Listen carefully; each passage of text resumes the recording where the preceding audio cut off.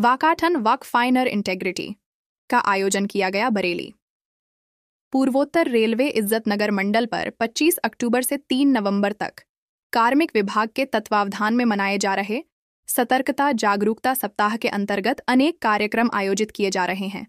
इसी क्रम में अपर मंडल रेल प्रबंधक राजीव अग्रवाल, सभी शाखा अधिकारियों, कर्मचारियों एवं खिलाड़ियों द्वारा वाकाठन वॉक फाइनर इंटेग्रिटी का आयोजन railway sports stadium road number चार से। रोड नंबर दो के रास्ते अधिकारी क्लब तक किया गया। साथ ही इज़्ज़त नगर स्टेशन पर रेल कर्मचारियों को ई प्लेस ग्रहण कराई गई एवं सुझाव बूथ का आयोजन किया गया। इज़्ज़त नगर मंडल पर 25 अक्टूबर से 3 नवंबर तक सतर्कता जागरूकता सप्ताह मनाया जा रहा है। इसी के कड़ी में आज वॉकाथन का आयोजन किया गया, जो कि रेलवे स्पोर्ट्स स्टेडियम से प्रारंभ होकर के रेलवे अधिकारी क्लब में समाप्त हुआ।